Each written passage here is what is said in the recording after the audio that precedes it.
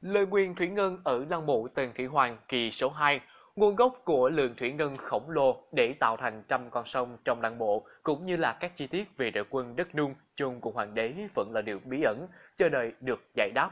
Nguồn gốc của dòng sông Thủy Ngân theo sử ký ghi chép để đạt được tham vọng trường sinh bất tử, từ khi còn trẻ thì Tần Thủy Hoàng đã say mê việc luyện thuốc trường sinh và thủy ngân là một thành phần chính trong thuốc tiên này. Do vậy, dòng sông Thủy Ngân phải chăng thể hiện được sự thịnh vượng, giàu có và tham vọng trường tồn vĩnh cửu của Tần Thủy Hoàng. Bên cạnh đó thì nguồn thủy ngân khổng lồ được dẫn từ đâu để tạo thành trăm con sông trong lăng bộ vẫn là một câu hỏi lớn không thể giải thích được. Lật lại lịch sử thì hai thiên niên kỷ trước, quận 3 ở thời Tân, tức là thành phố Trùng Khánh phía tây nam của Trung Quốc ngày nay, có một quả phụ họ Thanh chuyên nghề khai thác đá chu sa mà trở nên giàu có. Tôn Thủy Hoàng đã cho xây dựng Hoài Thành Đài để ca ngợi sự trinh liệt của người phụ nữ này. Vì sao tôn Thủy Hoàng lại đặc biệt chiếu cố đến nữ thương nhân họ Thanh này đến như vậy? Liệu bên trong có huyền cơ nào khác không? Theo khoa học hiện đại thì chu sa hay thần sa, đan sa, xích đan, cống sa là các tên gọi dành cho loại khoáng vật của thủy ngân sẵn có trong tự nhiên có màu đỏ. Thành phần chính của nó đó chính là sulfur thủy ngân. Chu sa được người Trung Hoa cổ đại sử dụng phổ biến để luyện thủy ngân, làm thuốc và làm thủ cung sa để đánh dấu trinh tiết của người phụ nữ. Thời đó, người Tần đã biết cách luyện thủy ngân từ đá chu sa, từ Mã Thiền viết, Giang Nam có đá chu sa, chu sa là nguyên liệu chính để luyện thủy ngân. Gần đây thì các nhà khảo cổ đã khai quật được lăng mộ của quả phụ họ Thanh, từ đó thì nghiên cứu được rằng ở thời Tần, gia tộc họ Thanh ở quận 3 vốn là một gia tộc giàu có và thể lực. Vùng quận 3 có ngọn núi Vu Sơn trong các câu chuyện cổ, chuyện thần thoại Trung Quốc. Đây là nơi các vị thần linh thường ghé đến và đây cũng là nơi khởi nguồn cho văn hóa Mo và thuật luyện đan. Văn hóa Mo thời Trung Hoa cổ đại là loại hình giống với nghi thức nhập đồng. Trong quá trình nhập đồng để nói chuyện với thần linh, người nhập phải uống thuốc tiên được luyện từ chu sa, tức lượng nhỏ thủy ngân. Sau khi uống, toàn thân sẽ tê cứng và run rẩy. Các thầy mo là những người có quyền lực, có tài chính hùng hậu và nắm trong tay các bí mật về thuật mo. Từ những khám phá khảo cổ có thể suy luận rằng Thanh chính là một truyền nhân thuật bo cũng như là nắm giữ được nguồn chu sa và thủy ngân khổng lồ. Nhiều khả năng người phụ nữ họ Thanh chính là người đã có công lớn trong việc cung cấp thủy ngân trong địa cung và hoàn tất giấc mộng sánh cùng thần tiên của Tần Thị Hoàng.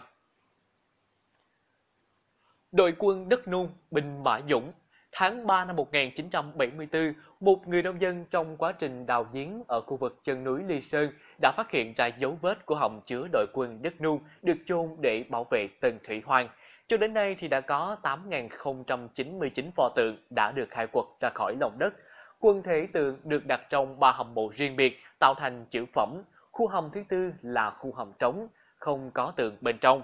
Người ta cho rằng hầm mộ thứ nhất nằm ở mặt tây của lăng mộ có pho tượng 6.000 binh mã là đội quân chủ lực của Tần Thủy Hoàng. Hầm mộ thứ hai chứa khoảng 1.400 pho tượng kỵ binh và bộ binh đi cùng xe ngựa. Đây được xem là đội cảnh binh trên diện tích khoảng 19.659 m2. Hầm mộ thứ ba là đội quân chỉ huy các cấp khác nhau và xe tứ mã trên diện tích khoảng 1.524 m2 và có khoảng 68 pho tượng ở đây. Khuôn mặt, kích cỡ, trang phục không có tượng nào giống nhau, Nét mặt thể hiện sự sống động như là người thật. Chiều cao của mỗi bức tượng khoảng 1,8 đến 2 mét, nặng khoảng 180 kg, to cao hơn nhiều so với thể trạng trung bình của người thời đó. Áo giáp và mũ trụ bằng đá của các binh mã dũng, mỗi chiếc áo giáp được kết từ 8.000 miếng đá, được bài thủ công hết sức tỉ mỉ, rồi được ghép lại bằng sợi đông. Các bức tượng người có lính bộ binh, cung thủ, các tướng lĩnh trong tư thế đứng thẳng hoặc cúi mình cầm cung, kích, giáo, mát, gươm bọc đồng vân vân. Đây là những vũ khí được sử dụng ở Trung Hoa thời đó. Các vũ khí được làm bằng đồng, được đúc tinh xảo và được mạ một lớp chống rỉ sét ở bên ngoài. Trải qua hai thiên niên kỷ, đến khi được tìm thấy thì các vũ khí vẫn còn sáng đẹp. Ngoài các vũ khí thông dụng như là đao, mát, kiếm, cung nỏ vân vân, các nhà khảo cổ còn tìm thấy những vũ khí lạ như là máy bắn tên tự động, máy bắn tầm gần, tầm xa vân vân chứng tỏ trình độ chế tạo vũ khí hết sức siêu việt ở thời Tân. Các bức tường đất nung được đặng từ đất sét nung trong lò ở nhiệt độ thấp, sau khi nung xong được phết một lớp sơn lên bên ngoài để tăng thêm độ bền. Một phát hiện chấn động mới đây cho thấy các tượng đất này được phết một lớp lòng trắng trứng ở bên ngoài.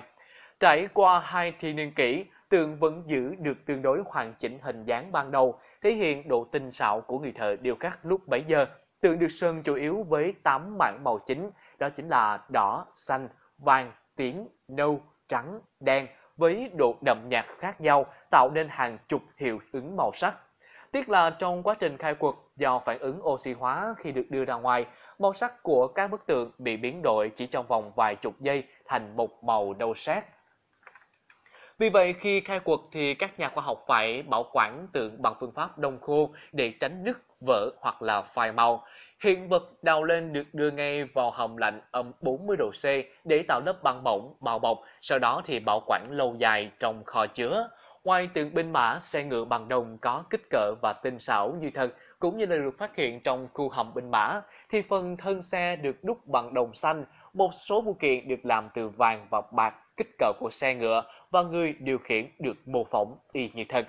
Các bộ phận được đúc riêng, sau đó thì được lắp ráp hàng đối lại với nhau, thể hiện trình độ cơ khí đáng nể của người thợ thời Tân. Đặc biệt, phần đầu ngựa có thể cử động được linh hoạt là nhờ được hàng bằng những sợi tơ đồng rất mảnh. Dưới kính hiển vi, các chuyên gia phát hiện những sợi tơ đồng này có độ mạnh khoảng 0,5mm, rất đều nhau. Kỹ thuật nào được áp dụng để kéo ra những sợi tơ đồng mảnh như vậy và làm thế nào để hàng nối những đầu sợi đồng này mà vẫn là một bí ẩn không thể giải đáp được, cũng giống như rất nhiều những bí ẩn khác trong khu lăng mộ của vị hoàng đế nổi tiếng nhất lịch sử Trung Hoa. Huyền Bí TV, kênh thông tin chọn lọc về khoa học huyền bí, tiên tri, phù thủy, chấn yểm, lời nguyền. Hãy đăng ký để không bỏ lỡ bất kỳ bản tin hấp dẫn nào.